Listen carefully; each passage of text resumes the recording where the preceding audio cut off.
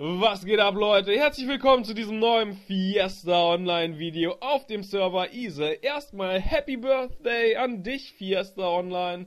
Neun Jahre insgesamt, also jetzt ist jedenfalls der neunte Geburtstag und das finde ich ziemlich nice. Ein ziemlich flyer Dude hat meinen Platz hier geklaut, wo ich immer stehe. Und äh, die Shop-Analyse mache, das finde ich ein bisschen gemein. Ähm, ich muss auch sagen, wenn er noch ein bisschen trainiert, dann sieht er vielleicht bald aus wie ich. So, ähm, ja, mein Kapital sieht inzwischen verhältnismäßig eigentlich schon wieder ganz in Ordnung aus. Ihr wisst ja, ich habe letztens, ist gar nicht mal so lange her, eben mir einen 50er Blutzwand gekauft, die jetzt lustigerweise tatsächlich viel, viel weniger wert sind. Aber ich habe euch ja meinen Gedankengang da, ja, an einem sehr, sehr schönen äh, Beispiel äh, dargestellt ähm, sodass ihr es sicherlich nachvollziehen konntet. Hier ist es eigentlich so Zeug, das ist eigentlich irgendwie so nicht besonders so. Ähm, womit habe ich den Gewinn dann noch gemacht? Ich glaube, ich hatte, ach ja, ich hatte einmal eine 70er Blue Army gekauft für 25 Gold. Ich wusste, dass die mehr wert war, also plus 0, aber ich wusste nicht genau wie viel. Da habe ich die einfach für einen Gem in meinen Shop gemacht. Das fand ich schon ziemlich viel. Wurde recht schnell gekauft, vielleicht war die sogar mehr wert, aber die hat jetzt nicht mal so gute Stats, deswegen hat mich das so ein bisschen gewundert. Dann hatte ich noch so einige Set-Teile hier gefunden und ja, so ne, 5 Gemme schon wieder besser als gar nichts. Ähm, mein Shop seht ihr momentan nicht so oft, weil ich eben jetzt schon wieder gar nichts zum äh, Verkaufen habe. Deswegen werde ich jetzt in diesem Video live mal wieder schauen, ob wir was Schönes finden. Und außerdem möchte ich euch natürlich äh, ja so ein paar Tipps geben.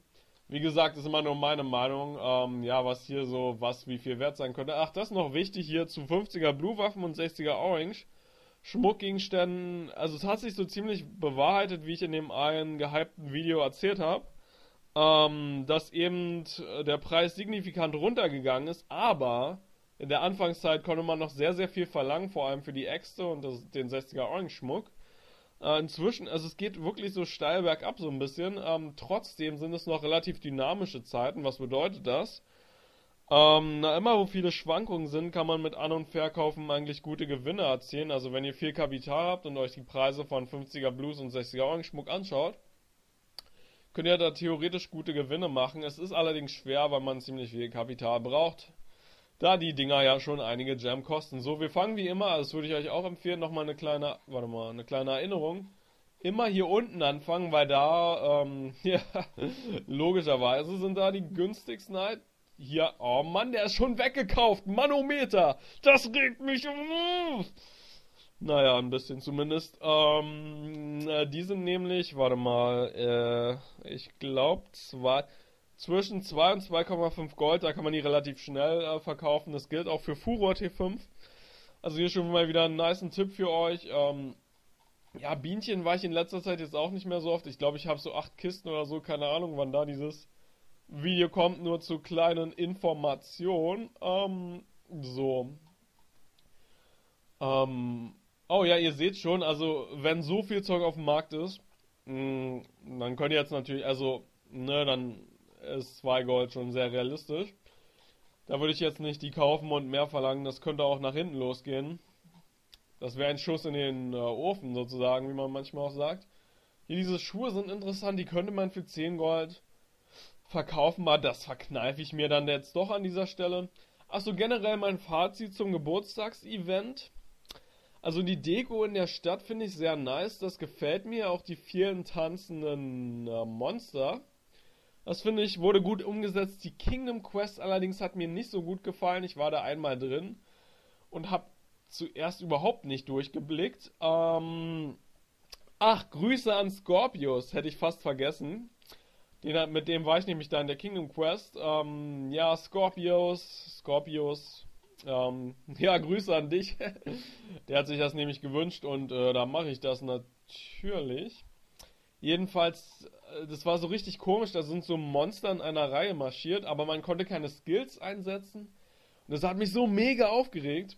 So, wenn du Monster zwar angreifen musst, aber du keine Skills einsetzen kannst. Boah, ich bin ausgeflippt. Angry RestGG heute in der Folge. ähm, ja, das war so ein, warte mal, ähm, also die Dinger hier habe ich teilweise auch schon für 15 Gold äh, verkauft, das kann man sich jetzt auch sparen.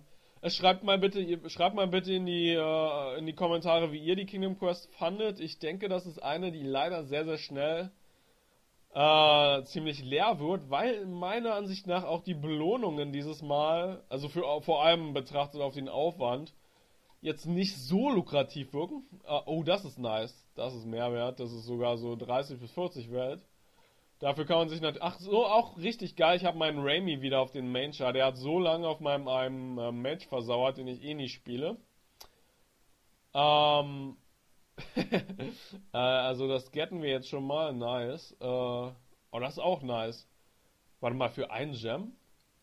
Holy moly. Also da muss ich mir Gedanken machen weil ähm, das sind geile Stats, Leute. Ne? Das kann man nicht sagen. 40, warte mal, 40 außen 30 Guess. Heiliger Molly, da ist was los. Ähm, das ist in dem Fall jetzt weniger interessant, aber ähm, könnte man da 1,5 verlangen? Ich würde sagen, warte mal, da gab es ein Set, was gut ist, und ich glaube aber das andere Set war das bessere, oder? Ja, klar, klar, genau, wegen den Clown. Das hier ist für Doppelschwerter. Nee, nee, nee, nee, lass ich mal irgendwie. Und Joker ist sowieso nicht so eine beliebte Klasse. Also es ist ein interessantes Item, aber in dem Fall lasse ich es mal. Ähm, was ich noch sagen wollte, so ein Rainy ist echt mega praktisch. Das habe ich schon wieder daran gemerkt, als ich meinen ähm, Bienchenkrieger gelevelt habe. Und da muss ich auch noch eine wichtige Info raushauen, nämlich da habe ich auch jemanden getroffen, der hier theoretisch in einem Video erwähnt werden möchte, aber der hatte mir Mobs geklaut beim Leveln. Also ich habe gequestet und der hat mir die Last Hits geklaut, der Monster. Und dann kommt der Typ an und will eine Erwähnung im Video, ja. Klar. So als Belohnung noch oder was, damit er meine Monster klaut. Äh, wie man auf so eine Idee kommt, äh, verstehe ich jetzt nicht, ehrlich gesagt. Ähm, wobei das lustigerweise ist, der hat es dann nochmal als Kommentar geschrieben unter einem Video. Irgendwie und dann, da habe ich so erkannt, der war eigentlich ziemlich nett so in den anderen Kommentaren, die er geschrieben hatte davor. Aber in-game, also da war mein Bienchenkrieger noch nicht als ich bekannt sozusagen. Also da wusste niemand, dass ich das bin zu dem Zeitpunkt. Da hat er mir echt Mobs geklaut so. Und dann kannst du mal sehen, jemand, der echt erst so ein bisschen nett wirkt, wenn du den ein bisschen genauer kennst, ist der dann auf einmal nicht so nett, ne? Also, ja, so ein Kleiner Hinweis an euch, nicht jeder, der einen netten Eindruck macht, ist vielleicht auch nett.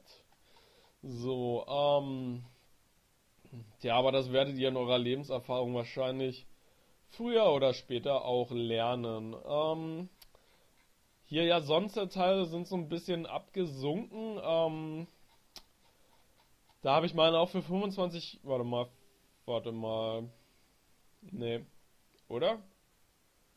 Hm, der ist ziemlich gut. Ne, der Preis ist ziemlich gut gewählt hier von dem Ring. Ähm, was wollte ich gerade sagen? Ja, sonst Teile sind mehr so auf 25 Gold jetzt. Klar ist nicht die Welt, aber besser als gar nichts. Ähm, ach, übrigens, äh, das ist jetzt so eine kleine Belohnung für die Leute, die so lange zuschauen, für die True Fans.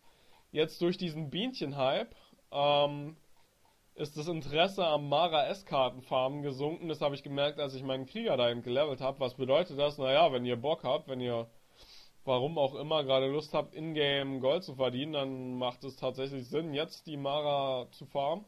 Weil da waren alle Spots frei, mehrere Male, als ich da war. Nur so als kleiner Hinweis. Und genau, so, das war's dann auch schon wieder für die heutige Folge. Ich hoffe, ihr konntet den einen oder anderen Tipp äh, mitnehmen.